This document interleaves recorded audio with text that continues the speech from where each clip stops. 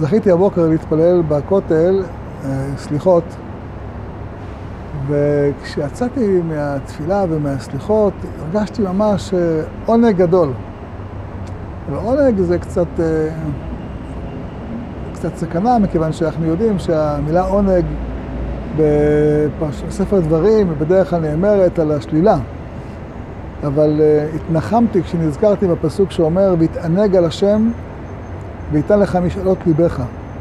שכשאדם מתענג בתפילה אז זה סימן לכך לפתיחת שערים, לכך זה שהקדוש ברוך הוא נמצא איתו.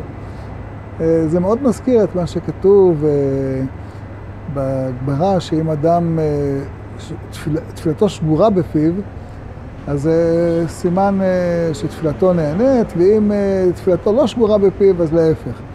מה זה השגורה בפיו? כשהקדוש ברוך הוא נמצא איתו אז זה סימן שהקדוש ברוך הוא שומע את תפילתו ורוצה בעמו ישראל. תפילתם ש... יהי רצון שהקדוש ברוך הוא יפתח שערים לכל עם ישראל, ישמע תפילתם, כי מה עם ישראל רוצה?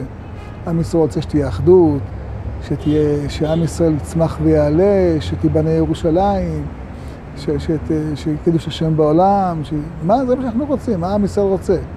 נכון, יש גם צרכים פרטיים, ושיהיה בריא, ושהוא יתחתן, ושתהיה פרנסה טובה, ושתהיה רפואה שלמה, ודאי שזה צריך.